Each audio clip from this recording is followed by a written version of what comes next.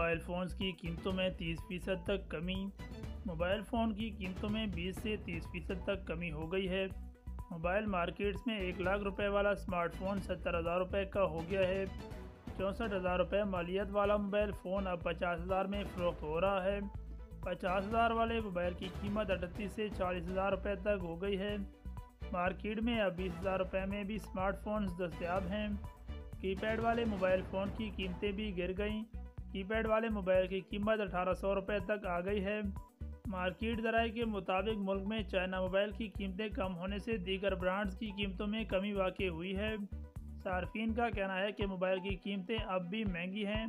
महँगे करते वक्त मोबाइल फ़ोन्स की कीमतों में 40 से 50 फ़ीसद इजाफा किया गया, लेकिन जब कीमतें कम की गई तो सिर्फ़ 20 से 30 फ़ीसद कमी की गई है। दुकानदारों का कहना है कि डिमांड कम होने से मोबाइल फ़ोन की कीमतों में कमी आई है। दूसरी जाने मुल्क में मोबाइल फ़ोन्स की दरमदाद में जारी माली साल के पहले नौ माह में सालाना बुनियादों पर एक सौ इक्कीस फ़ीसद का नुमाया इजाफा रिकॉर्ड किया गया। ये थी अभी तक की ताज़रीन अपडेट। मजीद इस तरह की अपडेट जानने के लिए हमारे चैनल को सब्सक्राइब कर दें, साथ ही मौजूद बेलाइकन को भी आल पर प्रेस कर दें।